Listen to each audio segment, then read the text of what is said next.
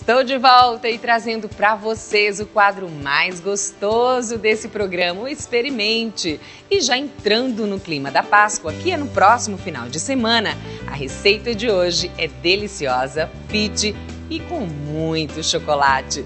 Lápis e papel na mão para não perder nada.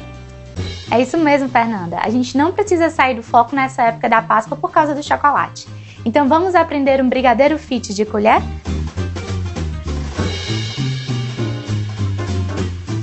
Vamos colocar 100 ml de leite de coco, uma colher de sopa de cacau em pó, uma colher de sobremesa de açúcar demerara. O açúcar demerara ele é mais rico em fibras, minerais e menos refinado do que o açúcar cristal. E agora misturamos. O ponto para você levar ao fogo é esse, ó. A cremosidade da massa, você consegue já ver.